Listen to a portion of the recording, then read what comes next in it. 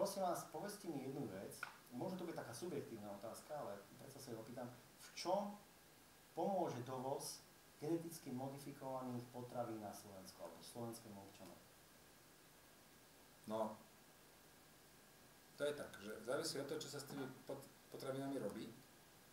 Keď sa z toho bude vyrábať, keď sa to bude pestovať na Slovensku, keby sa tu pestovala geneticky modifikovaná kukurica a tá by sa spalovala, na, alebo teda premienala na bionaftu, tak, tak biosom je to úplne jedno. Rovnako sa e, zvyknú spomínať v tejto súvislosti chlorované kurčatá. Ja teda keď sa mám priznať, tak mi je milšie chlorované kurča ako kurča so salmonelozou. A čo považujem za ale oveľa dôležitejšie je, niekto na tom obale toho produktu je napísané. Toto kurče je chlorované. Táto kukurica je GMO.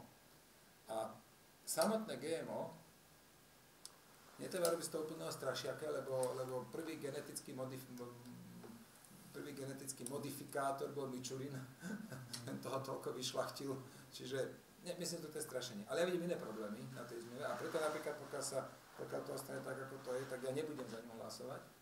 A, a síce, čo mi na tom veľmi vadí, je to tajnoskárstvo. Tak do decembra minulého roku mohli len tí poslanci, ktorí sú v zahraničnom výbore, to je asi 90 poslancov z, z 750, len tí mohli vidieť tú zmluvu. Tak to sa už zmenilo, že ja môžem vidieť tú zmluvu ako europoslanec. Je to prístupné, ale vtedy si to mali, myslím, že na 3 hodiny ste si to mohli požičať. No nie, to, tak to je, áno, na 2 hodiny, požičať. Jaké požičať? To nedajú vám to, je taká čitacia miestnosť, uh-huh. tam sa musíte 3 týždne dopredu prihlásiť, musíte povedať, ktoré kapitoly chcete z tej zmluvy čítať, musíte pri vstupe odozdať mobil, foťák, tašku, všetko, potom si tam sadnete, jediné, čo môžete mať je tuška a papier a môžete si robiť poznámky, aj tie musíte odozdať, keď odchádzate. A oproti vám si je taká pani a tá sa na vás, tá, tá, tá na vás civí, že či náhodou nevytiahnete druhý mobil alebo niekde niečo nemáte. A, Koľko to má strán? Samotná zmluva, má, samotná zmluva má okolo 300, 350 a sprievodná dokumentácia, tam sú nejaké protokoly a, a prílohy a tak ďalej, tam asi 1600.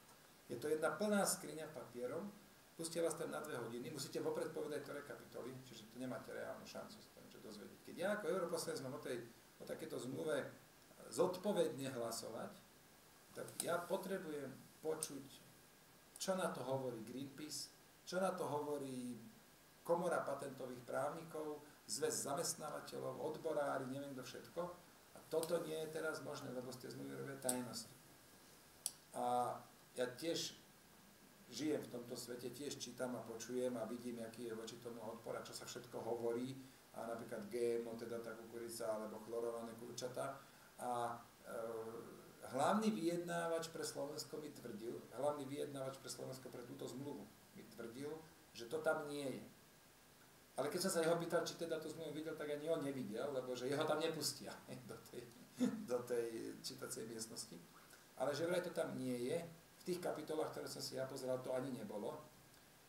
Ale ja nevidím v tom najväčší problém. Ja vidím v inom niečom problém a to, je, a to sú tie, to, to je tá ochrana investícií, preto aj tá zmluva je TTIP, to je uh, Transatlantic Trade, trade, nie, nie, Transatlantic Trade Investation Partnership.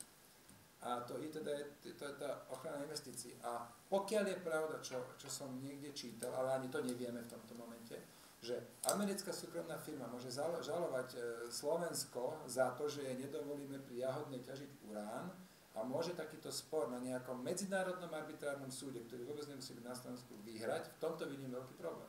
A odškodní tú firmu, pokiaľ sa správne, no, však áno, tak. on sa to a tak ďalej. A pokiaľ, pokiaľ teda pokiaľ teda toto nie je úplne isté, či to je alebo nie je možné, alebo pokiaľ to nebude zmenené, ak to tam je už dnes, tak jednoducho nebudem za takúto zmluvu hlasovať.